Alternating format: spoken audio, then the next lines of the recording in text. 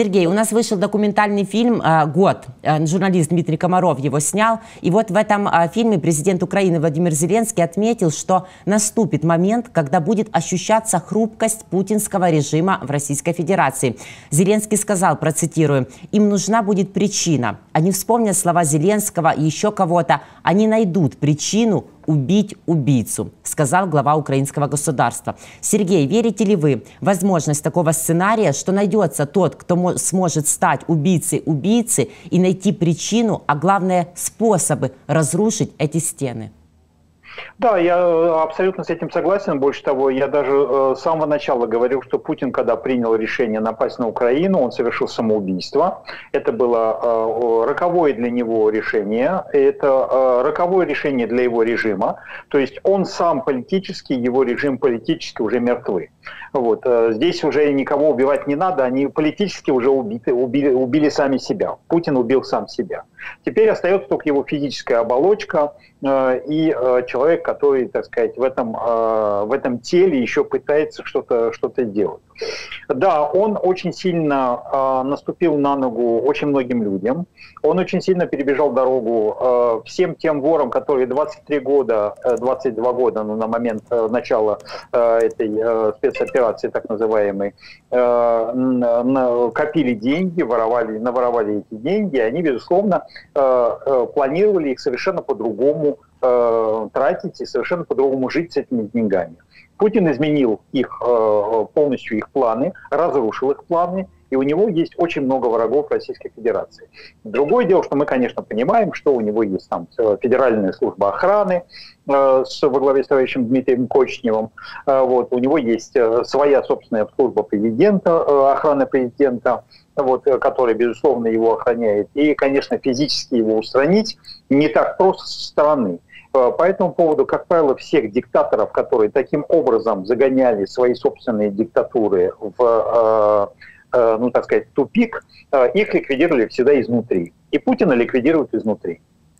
А, а, сложно, но возможно, я так понимаю, Сергей, да? А, как вы думаете, вы вот говорите, многим он наступил на ногу, кому, кому именно многим, кому больнее всего было от этого, и кто, у кого может у первого, как вы думаете, вот закончится это терпение, эта чаша будет переполнена?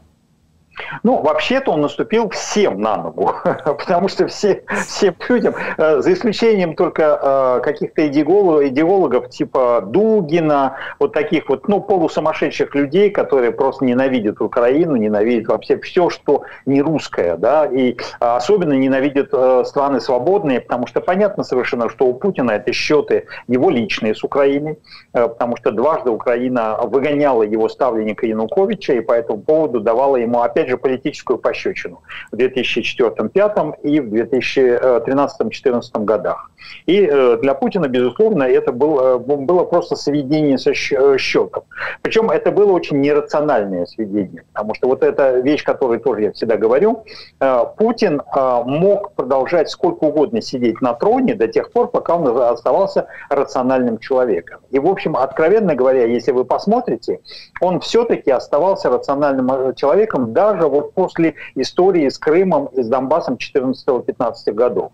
Потому что он тогда говорил, что это не мы, это вообще не Россия, мы к этому не имеем никакого отношения. Это какие-то люди внутри Украины, которые э, решают свои проблемы с киевским режимом, но они там, внутри Украины. А мы просто э, благо, благосклонно, так сказать, э, помогаем этим людям, и то помогаем только гуманитарно, наших войск там нету, мы им не поставляем никакое вооружение. То есть, понимаете, в этом смысле Путин проводил довольно прагматичную, правильную позицию. Кстати, такую же позицию он занимал в отношении частной компании «Вагнер» он всегда говорил, что мы к этому не имеем никакого отношения. Какой-то есть частный человек, который имеет каких-то частных воинов и использует их за рубежом. Это мы все знали. Ну, я как бывший разведчик и э, журналисты, которые расследовали эти дела, знали, что на самом деле это эманация э, Главного разведывательного управления Вооруженных сил Российской Федерации, что это абсолютно государственная структура, которая просто, э, у которой форма существования частная военная компания.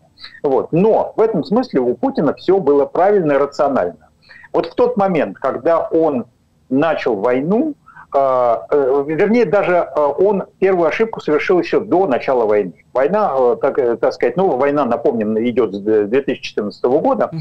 но до начала вот этой специальной военной операции, так сказать, он, которая началась 24 февраля 2022 года, 21 февраля 2022 года он совершил еще более глубокую ошибку, которая называлась э, э, чем, как ее можно было сформулировать?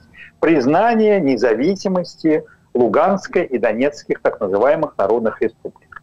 Это была ошибка э, чрезвычайно глубокая, потому что она открывала путь э, к распаду Российской Федерации.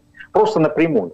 Потому что если Путин, как глава государства Российской Федерации, признавал какие-то кусочки какой-то территории во главе с какими-то бандитами, независимыми государствами, то он не мог впоследствии не признать, например, огромную территорию Якутию со своей территорией, со своим языком, со своей историей, со своими государственными атрибутами, с конституцией, с президентом, э, с исполнительной властью, с правительством и так далее. Он не мог э, не признать э, Якутию и подобные ей автономные республики на территории Российской Федерации. Их больше 20 штук. Таким образом, Путин, вот это было еще даже страшнее для него, последствия, чем даже война прямая против, против Украины потому что война, война прямая против Украины – это э, э, вещь, которая вела э, просто к э, экономическим последствиям для России и гибели э, населения. А вот то, что он сделал 21 числа, это э, прямой путь к распаду Российской Федерации как государства, как федерации.